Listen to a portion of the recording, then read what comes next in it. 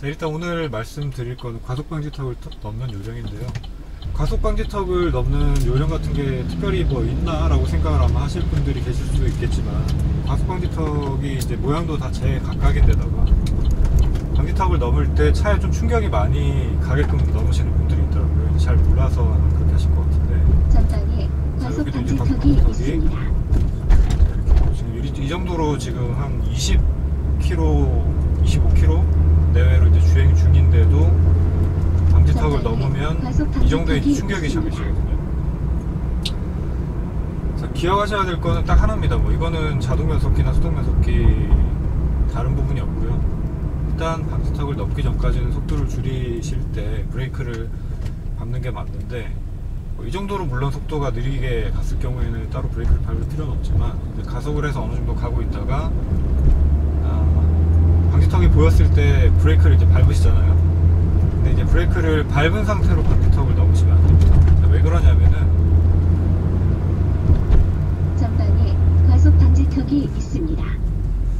자, 브레이크를 밟은 상태에서는 이제 이 차량의 무게 하중이 앞쪽으로 이렇게 집중이 되기 때문에 앞쪽에 있는 댐퍼가 이렇게 눌려서 그러니까 우리가 차에 보면은 네 바퀴에 다 댐퍼가 달려 있고 뭐 스프링들이 달려 있는데 충격을 흡수하기 위해서 그런 이제 압축 수축 작용 뭐 이런 것들이 다 일어나게 되죠. 근데 이제 브레이크를 밟으면 앞쪽 스프링, 앞쪽 댐퍼가 이렇게 수축을 하게 됩니다.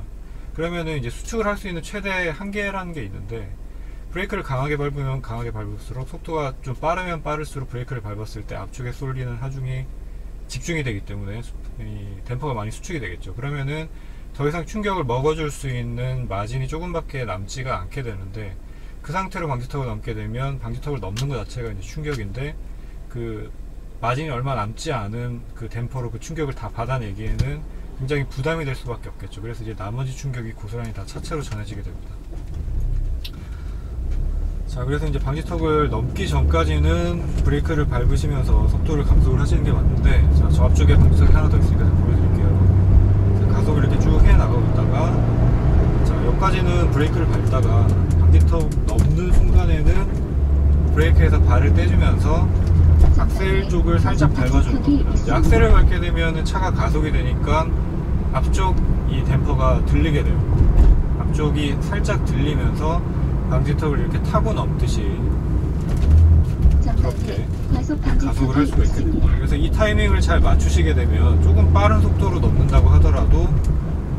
브레이크를 밟아, 밟으면서 방지턱을 넘는 것보다는 훨씬 더 부드럽게 그렇게 방지턱을 넘으실 수가 있습니다. 자, 이게 이제 뭐 제가 나름 명칭을 붙여보자면 하중이동을 이용한 과속 방지턱 공략이라고도 이제 말씀을 드릴 수가 있을 것 같은데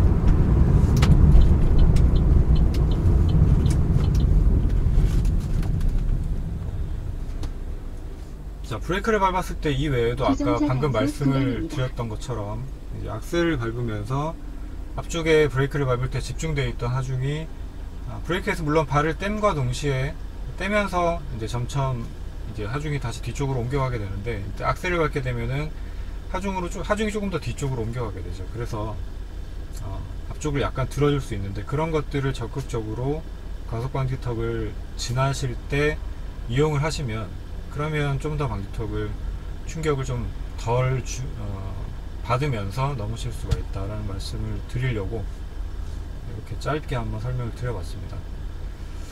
자, 뭐 추가적으로 이제 방지턱을 넘게 될 때 제가 어, 설명하는 도중에도 앞에서 이제 방지턱 한개 넘으면서는 이제 힐앤톨을 사용해가지고 또 바로 이제 가속 페달의 반응을 줄 수 있게끔 그렇게 이제 기어 단수를 낮추는 과정까지 더해줬는데 이런 것까지 이제 더해지게 되면 좀 더 이제 악셀 페달에 민감하게 차가 반응을 하게 만들 수 있으니까 그러니까 기어가 이제 뭐 3단 가속을 하고 있다가도 보통 일반적으로는 이제 브레이크를 밟으면서 속도가 줄어들면 이제 2단을 넣은 다음에 그 다음에 부드럽게 반클러치를 연결을 시키면서 가속을 해 나가죠. 뭐 물론 늦은 낮게 가는 속도에서는 이렇게 조작을 하는 것도 문제가 없겠지만 아, 좀 신속하게 이 하중 이동을 주기 위해서는 아, 때로는 힐앤톨을 사용을 해서 방지턱을 넘기 전에 감속과 동시에 미리 기어를 다 낮춰서 악셀로 컨트롤을 하시는 것도